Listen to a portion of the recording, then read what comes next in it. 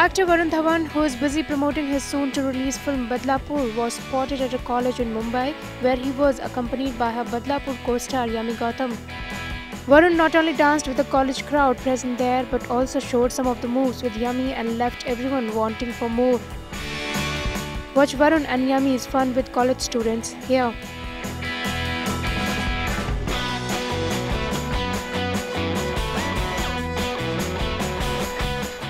Directed by Sriram Raghavan, Badlapur is about the revenge of a man on all features Huma Qureshi and Nawazuddin Siddiqui.